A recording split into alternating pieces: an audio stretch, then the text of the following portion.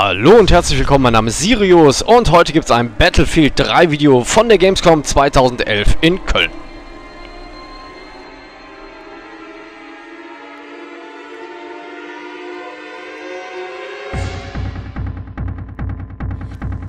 Battlefield 3 wurde dann auch vollkommen zurecht mit dem Preis Best of Gamescom 2011 ausgezeichnet und den Game of the Show Award gab es dann direkt noch hinterher. Man kann dann wohl wirklich sagen, dass Battlefield 3 das am meist erwartete und am meisten gehypte Spiel der Gamescom war und so standen die Besucher der Messe wirklich am Samstag bis zu sensationellen 12 Stunden in der Warteschlange, um einmal Battlefield 3 auf der neuen Caspian Border Map anspielen zu können. Sage und schreibe 64 PC standen dann in Halle 6 für die Battlefield 3 Freunde zur Verfügung, um Caspian Border im Conquest-Modus anspielen zu können. Ebenso war die Koop-Mission auf der PlayStation 3 verfügbar und in der Community Launch hatten wir zusätzlich noch die Möglichkeit, 4-on-4 Team Deathmatch zu spielen. All Anvil Victors commencing charge on my mark. 3, 2, 1... Während draußen vor den Toren dann noch die Fans auf die Öffnung der Gamescom warteten, machte ich mich bereits auf den Weg in die EA Community Launch, um Battlefield 3 erneut anzuspielen. Im heutigen Video gibt es dann nochmal ein paar gesammelte Eindrücke von Battlefield 3 auf der Gamescom und wie man hier ganz schön sehen konnte, in der Community Launch waren auch noch andere Spiele verfügbar. Aber hauptsächlich waren wir da für Battlefield. Die ersten lachenden Gesichter am Morgen, das war noch nicht alles fertig installiert. Die letzten Rechner wurden noch zusammengeschraubt, bevor das Ganze beginnen konnte. Ja, und hier kann man mal das krasse Gegenteil von drinnen sehen. So sah es im Innenhof der Community Launch aus, wo erstmal die Sonnenschirme ausgebreitet wurden, um sich relaxed auf ein paar Zockstunden vorzubereiten. Am Ende des Videos gibt es dann auch nochmal Ausschnitte aus dem Live-Chat von Battlefield 3, den Electronic Arts direkt aus der Community Launch mit Andreas Koch und Max Maron gesendet hat. Für einige wichtige Vertreter der Battlefield 3 Community ging es dann ab in Konferenzraum K und hier kann man nochmal den Überblick sehen, wann welcher Termin für Battlefield 3 gebucht war. Ja, zunächst hieß es ein bisschen Schlange stehen, bis alles vorbereitet war und leider Gottes war es nicht erlaubt, das QA und die Präsentation von Daniel Matros, dem Global Community Manager von DICE für Battlefield 3, zu filmen. Ja, immerhin kann ich euch zeigen, wie wir alle reingelatscht sind, schon voller Vorfreude, was uns da so erwarten würde. Daniel war schon drin, und der Rest nahm dann auch so langsam Platz. Besonders interessant war es dann eigentlich, wie Daniel erklärte, wie so eine komplette Spielentwicklung bei DICE zu Battlefield 3 abgelaufen ist. Und im nächsten Bild könnt ihr jetzt mal raten, wer hier vorne links auf dem Stuhl fehlt. ja, richtig, das war mein Platz. Und da sind wir schon wieder live dabei, Battlefield 3 im 4 Team Deathmatch zu spielen. Ja, das hat mir überraschend gut gefallen. Und wenn ihr jetzt seht und schaut, was machen die da an meinem Platz? Na, wir wissen es nicht. Vielleicht meinen Killstreak bewundern. Generell muss ich einfach wieder sagen, ich bin nach wie vor begeistert, was die Frostbite 2 Engine so in Battlefield 3 leistet. Und gerade mal abseits des virtuellen Schlachtfeldes findet man einfach wunderschöne Szenarien und absolut erstklassig in Szene gesetzte Landschaften und Kulissen. Ja, wirklich überraschenderweise spielte sich dieser 4-on-4 Infanterie-Only-Modus dann auch wirklich spannend und recht direkt. Und das Schöne war eigentlich, man konnte immer so quer über den Tisch dem anderen ins Gesicht gucken, wenn man den mal gekillt hat. Und so lachen, ich war's und so. Das war also ähm, zum Anspielen wirklich eine tolle Sache und hat eine Menge Spaß gemacht, einfach in dieser relaxten Atmosphäre mit viel Zeit in klimatisierten Räumen abseits des Trubels Battlefield 3 nochmal ausführlich testen zu können nach der Alpha-Phase war es jetzt auch nochmal ganz schön zu sehen, wie alle Waffen freigeschaltet waren und alle Slots individuell belegt werden konnten. Insgesamt wird es ja mehr als 50 Waffen geben.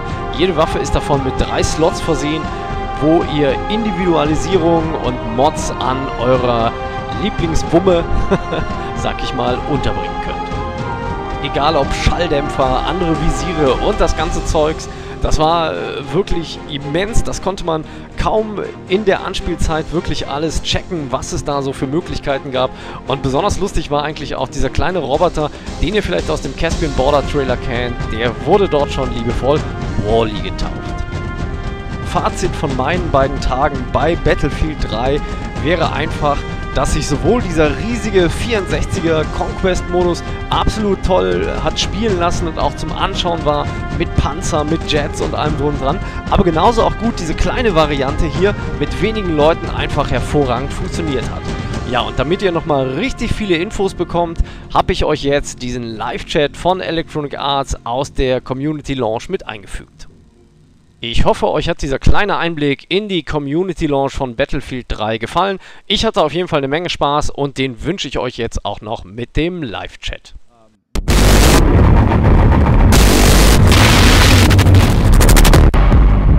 Herzlich willkommen zum deutschen Battlefield 3 Live-Chat. Ich bin der Andreas Koch, der Gamma Community Manager Battlefield für Deutschland. Neben mir sitzt der Max Maron. Hallo. Er ist einer von unseren äh, Forenmoderatoren für den Battlefield-Bereich im offiziellen EA-Forum. Und ich denke, wir steigen dann noch einfach sofort ein und fangen an, ein paar Fragen zu beantworten. Ähm, Back to Kakant ist ja bekanntlich das ähm, Add-on für Battlefield 3, was es als Pre-Order-Bonus gibt. Mhm. Ähm, die Frage, die wir hier haben, ist, wie viele Waffen gibt es in Back to Kakant? Also kann, kann, können wir im Detail im Moment äh, leider Gottes nichts sagen, aber der Gesamtumfang von Back to Kakant wird ungefähr so sein, wie der von Battlefield Bad Company 2 Vietnam. Und das war wirklich ein großartiges Album. Ja. Es arbeitet auch dasselbe Team an Back to Kakant. Da kommt also was richtig Geniales auf uns zu denken. Ja, es wird auf alle Fälle für die Spieler viele Waffen äh, geben, die ihnen aus Battlefield 2 bekannt sein werden. Auch Fahrzeuge aus Battlefield 2 werden dort sein. Und die klassischen Karten. Ja, natürlich. Wake Island, da freue ich mich besonders. Ich auch sehr. Frage zur Hardware, die man braucht, um diese wirklich großartige und geniale Grafik äh, wirklich in voller Pracht und Schönheit sehen zu können, welche Hardware man dafür braucht, ähm, die hören wir ganz, ganz oft. Die haben wir im Forum ganz, ganz ja, oft. Das ist natürlich. auch ein ganz heiß diskutiertes Thema im Forum. Im Moment gibt es noch keine offiziellen Systemanforderungen von DICE. Ähm, da werden wir sicherlich auch noch ein paar Tage drauf warten müssen. Das Spiel ist noch voll in der Entwicklung. Ähm, wir haben noch Zeit bis zum 27. Oktober. Ähm, klar ist natürlich, dass ganz viele Spieler wissen wollen, was müssen sie ja. investieren, um das Spiel in voller Schale Alle sind natürlich sehr neugierig. Ähm, äh, es ist aber sicherlich davon auszugehen, dass mit aktuellen äh, Computern dieses Spiel sehr gut zu spielen sein wird. Angekündigt und angesagt ist, dass es zum Release von Battlefield 3 weder für den PC noch für die Konsole einen LAN-Modus geben wird. Ähm, nach wie vor ist DICE daran, die Feedbacks anzuschauen und zu überlegen, ob das machbar ist mit dem LAN-Modus für den PC. Ich denke, für die Konsole wird es keinen LAN-Modus geben, auch in Zukunft nicht. Viele Spieler werden vielleicht äh, auch hoffen, dass es einen Split-Screen-Modus gibt. Dazu kann man äh, momentan noch nichts sagen. Nee, Splitscreen wird es nicht geben. Auch nicht. Okay, gut. Koop ist auch für den PC angekündigt. Ja, definitiv. Also zwei Spieler können dort zusammen spielen äh, und es wird äh, sechs Karten geben, auf denen man dort spielen kann. Das sind spezielle Karten, die dafür äh, für diesen Koop-Modus äh, angelegt wurden. Und Koop ist auch eine Sache, wo ich mich selbst auch sehr ja, drauf freue. Sehr. Das wird sicher sehr, sehr lustig mit den, mit den Mates zusammen zu spielen, ja. Spaß zu haben. Genau. Ähm, können wir leider im Moment auch noch nichts dazu sagen. Ähm, Caspian Borders läuft im Moment auf, am Hauptstand in der, in der Ausstellungshalle in Halle 6. Dort kann es am PC angespielt werden. Zu, zu dem genauen Größenunterschied ähm, ist halt im Moment sinnvoll, sicherlich nur eins zu sagen, ähm, es sind halt weniger Spieler und die, die, die Maps auf der Konsole werden natürlich an die Spielerzahl angepasst werden. Ja. Alles andere wäre halt. Es, es, wird sich halt. es wird sich halt dann schon, äh, wenn man die Kampfhandlungen werden sich schon äh, äh, etwas geballter dann auf, auf bestimmte Punkte fixieren auf den Maps. Ja. Was die Jets angeht, ist es aber schon sehr interessant, äh, dass man auch auf dem PC sehr weit fliegen kann ähm, und genug Platz haben wird. Und das, denke ich, sollte auch auf der Konsole möglich sein. Ähm, es wird Maps mit mehrstöckigen Gebäuden geben. Wenn man einen Blick auf äh, Operation Metro wirft, dann kann man sehen, dass man bis zum dritten Stock hochlaufen kann. Und da entwickeln sich auch durchaus interessante Gefechte. Ähm, die Zerstörung, die Frostbite 2.0 mitbringt, macht da natürlich eine ganze Menge äh, Strategie und Taktik möglich. Äh, sehr viel verschanzen geht da nicht. Auch. Die RPGs, Ja. die sorgen für Ordnung. Es ist schon problematisch, ja.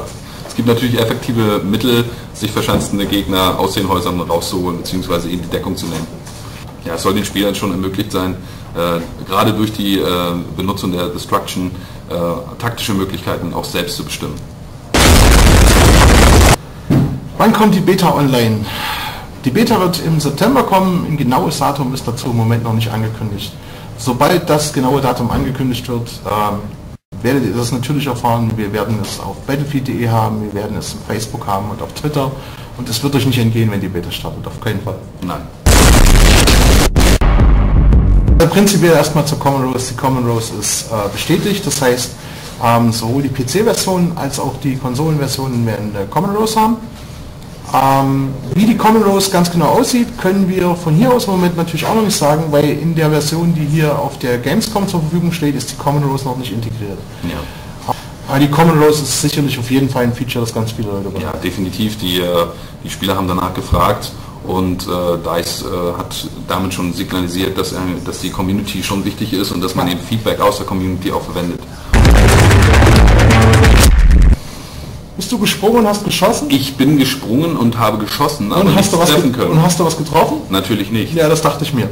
Also natürlich kann man, äh, wenn man springt, schießen. Das ist ja durchaus realistisch. Man kann ja den, den Abzugsfinger benutzen, während, während man gerade hochspringt. Nur das Treffen ist halt unwahrscheinlich. Man kann definitiv seinem äh, Gegner aber zeigen, wo man sich aufhält. ja, das ist auf jeden Fall ein ganz wichtiges Feature. Also immer schön springen und Ja. schießen, dann weiß der Gegner, wo ihr seid und dann ist das ganz schnell zu Ende. Genau. Also es macht halt, man merkt halt wirklich, dass äh, Battlefield 3 auch nochmal einen Tick mehr in Richtung Realität geht.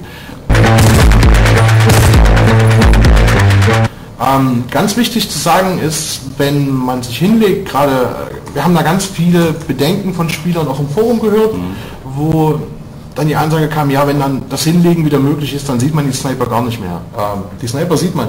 Richtig, die Sniper sieht man. Ähm, äh, wenn man äh, über die Karte guckt und äh, ein Sniper sich irgendwo versteckt, dann kann man ihn erkennen, indem ein äh, Lichtreflex von seinem äh, Visier bzw. von seinem äh, Zielfernrohr ausgeht. Und so kann man schon sehen, da hat mich jemand im Blick und kann sich dementsprechend dann auch verhalten. Man kann also seine Deckung verbessern bzw. das Feuer eröffnen.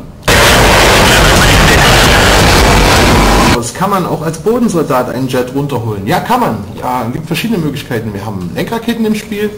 Ähm, du hast ganz einfach die Möglichkeit, in ein entsprechendes Fahrzeug einzusteigen. Ähm, also du bist nicht wehrlos gegen die Jets. Das ist halt auch immer eine Befürchtung von ganz vielen Spielern. Ja, es wird definitiv äh, gepanzerte Luftabwehrfahrzeuge geben und es gibt äh, zum Beispiel auch eine Stinger-Rakete, mit der man äh, diese Flugzeuge dann bekämpfen kann. Das möchte ich mal mit einer Gegenfrage beantworten.